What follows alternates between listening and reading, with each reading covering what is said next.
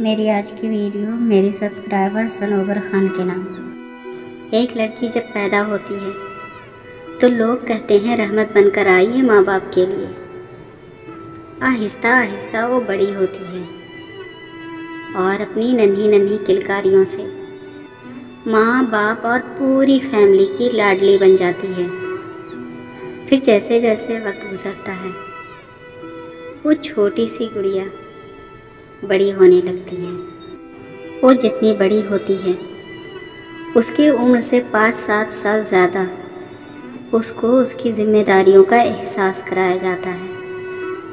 वो छोटी सी नन्ही परी अपने मासूम मासूम ख्यालों में, ये बात बहुत अच्छे से समझ जाती है कि अब उसका परी बनकर रहने का ज़माना बहुत जल्द ख़त्म होने वाला है। अफसोस। कि अभी तक तो उसने अपनी परों की खूबसूरती देखी भी नहीं। और अब कभी शायद ही देख सकेगी। क्योंकि उसको हर दिन, हर घंटे और हर मिनट ये बताया जाता है कि वो पराई है। एक दिन बाबुल का घर छोड़कर उसे अपने घर जाना है। एक शहज़ादा आएगा और उसे अपनी ज़िंदगी बनाकर ले जाएगा। फिर तुम्हारी सारी खुशियाँ तुम्हारा शहज़ादा पूरा करेगा। तुम्हें अपने पलकों पर बिठा कर रखेगा।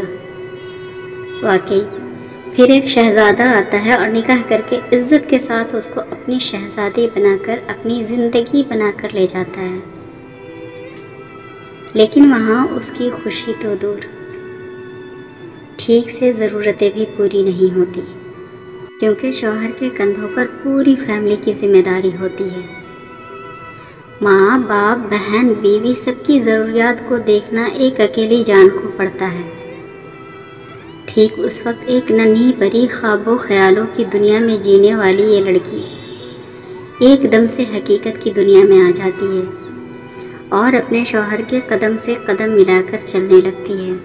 अपनी चाहतों को अपने दिल के किसी कोने में छुपा लेती है। आहिस्ता आहिस्ता वक्त गुजरता जाता है। फिर वो इस कदर खुद को ससुराली रिश्तों और अपने आल औलाद की परवरिश में गुम कर देती है। आहिस्ता आहिस्ता छोटे बच्चे बड़े होने लगते हैं। और वो नन्ही परी औरत के रूप से उम्र के पड़ाव में ढलने लगती है। एक दौर था जब वो नन्ही परी थी। नन्ही परी से बेटी लाडो बनी। लाडो से दुल्हन बनी, दुल्हन से फिर माँ बनी। माँ से सास बनती है, सास से फिर दादी बन जाती है। इतनी लंबी सफ़र में भी वो अपनी ख्वाहिशों के मामले में अपनी आँखें बंद ही रखती है। पता है क्यों?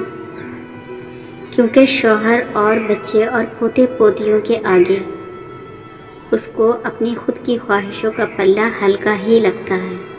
एक अच्छी और समझदार औरत की कुर्बानी होती, फिर भी इसकी कदर नहीं होती। अल्लाह ताला हर औरत की इज़्ज़त और कुर्बानियों की कदर करने की सबको तोफ़ी अदा फरमाए। आमीन।